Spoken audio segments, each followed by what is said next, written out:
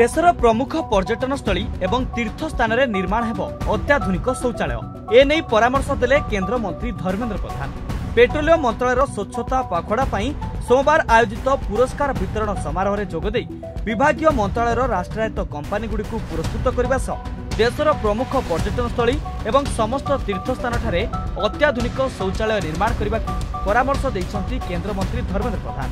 ସେ କହିଛନ୍ତି ଯେ ପ୍ରଧାନମନ୍ତ୍ରୀ ନରେନ୍ଦ୍ର ମୋଦି ସ୍ୱଚ୍ଛତାକୁ ଜନ ଆନ୍ଦୋଳନରେ ପରିଣତ କରିଥିବା ବେଳେ ଏଥିରେ ଗ୍ରାମାଞ୍ଚଳ ସହରାଞ୍ଚଳ ଏବଂ ସମାଜର ପ୍ରତ୍ୟେକ ନାଗରିକ ସାମିଲ ହୋଇଛନ୍ତି ପେଟ୍ରୋଲିୟମ ମନ୍ତ୍ରଣାଳୟ ମଧ୍ୟ ଏହି ଅଭିଯାନରେ ସାମିଲ ହୋଇ ଏହାକୁ ବ୍ୟାପକ କରିବାରେ ଅନ୍ୟତମ ଭୂମିକା ଗ୍ରହଣ କରିଛି ଦୁଇହଜାର ବାଇଶକୁ ଦେଶ ସ୍ୱାଧୀନତାର ପଞ୍ଚସ୍ତରୀ ବର୍ଷ ପୂର୍ତ୍ତି ହେବ ଏହି ସମୟ ସୁଦ୍ଧା ଆମକୁ ସ୍ୱଚ୍ଛ ଭାରତର ସ୍ୱପ୍ନ ସାକାର କରିବାକୁ ପଡ଼ିବ ଏହି ଅବସରରେ ସ୍ୱଚ୍ଛ ଭାରତ ଅଭିଯାନରେ ଅଧିକରୁ ଅଧିକ ବେସରକାରୀ ତୈଳ ଓ ଗ୍ୟାସ୍ କମ୍ପାନୀମାନେ ସାମିଲ ହେବା ପାଇଁ ସେ ଆହ୍ୱାନ କରିଛନ୍ତି